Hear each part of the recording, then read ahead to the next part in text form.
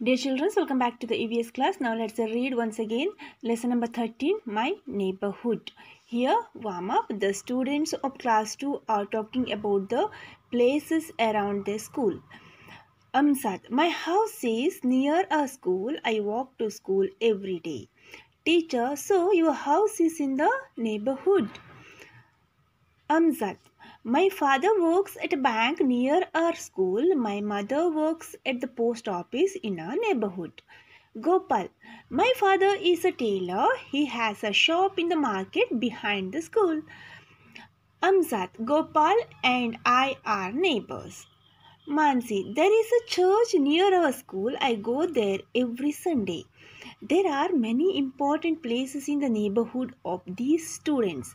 So list some of the places in the neighborhood that the students talk about. Here you have to find, out uh, the places in the neighborhood.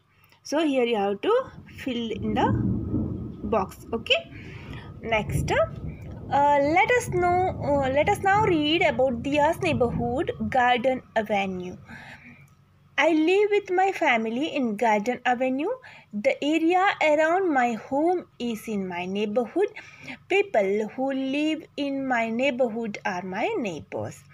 There are many places in my neighborhood that are open to everyone. These places are called public places. Let me show you some places in my neighborhood. School. My school is near my house. I learn many things at school. I also play games there. I have many friends in school. Market. There is a market in my neighborhood. There are many shops in the market. People buy fruits, vegetables, and groceries here. There is a bakery in the market. We buy cakes, biscuits, and bread from the bakery. There is also a chemist in the market. People buy medicine from the chemist shop. Post office. There is also a post office in the in our neighborhood. Mother and I also go there to buy envelopes, stamps, and postcards. Sometimes we go there to send parcels to my grandparents. Library. My favorite place in the library, close to my house. It has many books.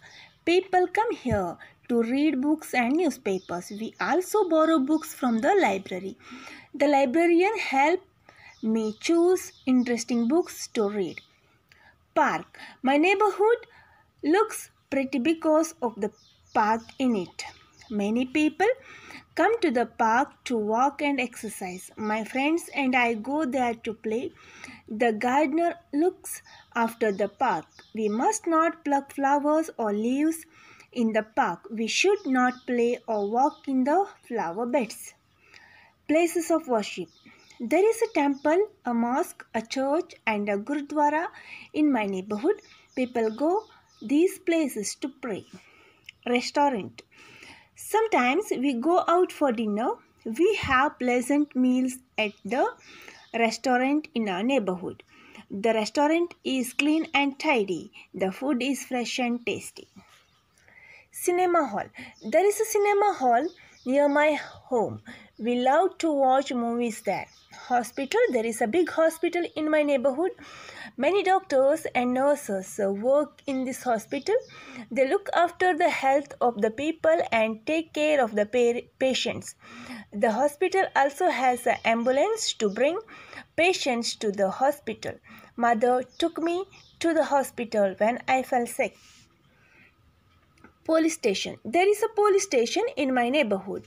We can call the police or go to them for help whenever we are in trouble. They keep us safe.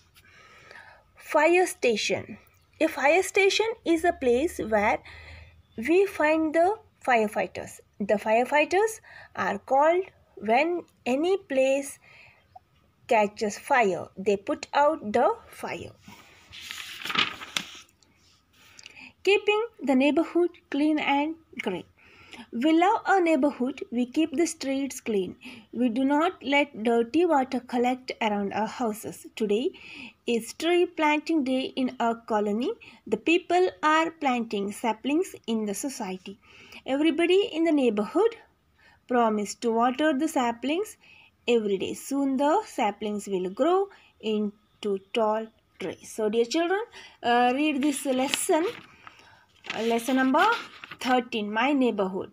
Read the lesson and here underline the difficult words write in your rough notebook and learn to read the lesson properly. Okay in the next class we will continue the next lesson. Thank you